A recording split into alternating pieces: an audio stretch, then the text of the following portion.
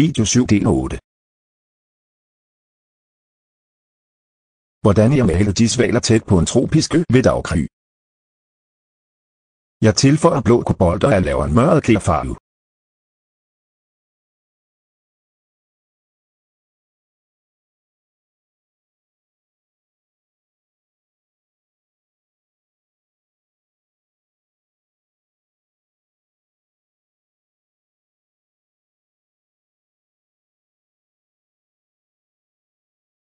Jeg maler den tredje mørkeste bjerget.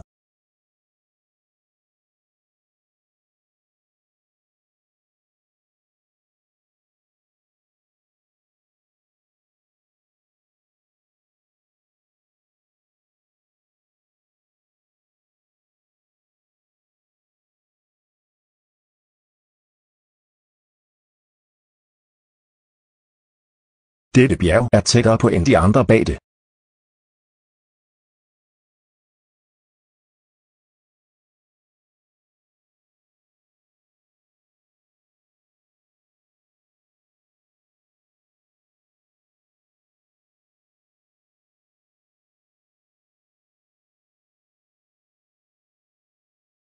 Jeg tilføjer nogle brune farver og jeg maler jorden.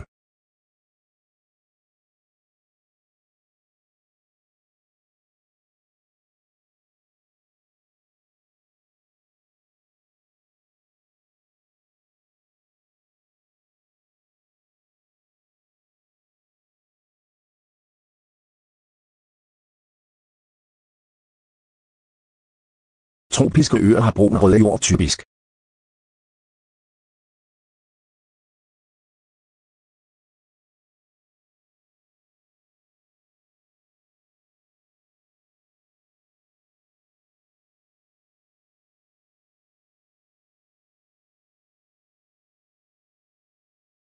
Jeg tilføj flere blå og malede dele af bjerget.